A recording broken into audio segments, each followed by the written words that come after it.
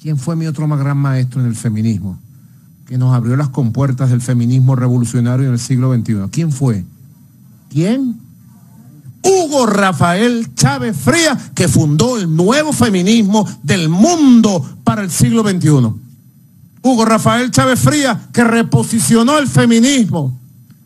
Cuando el comandante Chávez tomó el feminismo como bandera, estaba de capa caída, no existía Ernesto en el mundo. Revisa tú en las hemerotecas, en Estados Unidos, en Europa, en América Latina, revisa. Si es que el feminismo era un tema, no era un tema, no era un tema.